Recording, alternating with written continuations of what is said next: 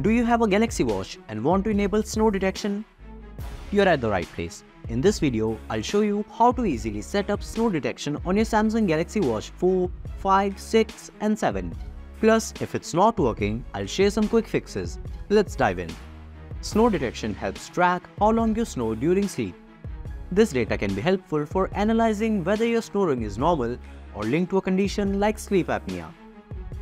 Activating snore detection on your Samsung Galaxy Watch is simple.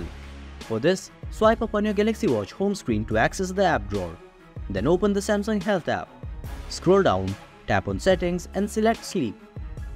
Tap on Snore Detection. You need to complete the setup on your connected phone. If your Galaxy Watch is paired with a Samsung phone, the snore detection page opens up automatically. But if it's connected to a non-Samsung phone, open the Samsung Wearable app first. On your phone, toggle on snore detection. You can choose to enable it always or once. Optionally, turn on record audio to capture snoring sounds and select how long recordings are saved 7, 31 or 100 days. Alternatively, you can enable snore detection directly from the Samsung Health app on your smartphone. Open the Samsung Health app, tap on Sleep Score Tile, scroll down and select Snoring. Tap the three vertical dots in the top right corner, select Snore Detection and toggle it on. To use snore detection, first turn it on since it's off by default.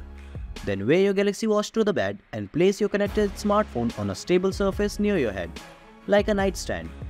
Make sure that the bottom of the phone is facing you. If your snore detection is not working, then you can try to fix it. Fixing snore detection on your Galaxy Watch is easy. Check phone positioning. Ensure your phone is on a flat surface near your head with the bottom facing you. Toggle snore detection. If snore detection is on but not working, try turning it off and then on again. Update software. Make sure your Galaxy Watch is updated to the latest software version to fix any bugs. Restart your watch. If there's a glitch, restart your Galaxy Watch by holding the power button and the back buttons until the Samsung logo appears. That's it. I have described the process in simple steps, making it easy to activate snore detection on your Samsung Galaxy Watch. If you enjoyed this video, make sure to give it a thumbs up and if you want to see more videos like this, then don't forget to subscribe to Wearholic. If you have any questions or queries, drop them in the comments below. I'll see you in the next video. Until then, goodbye.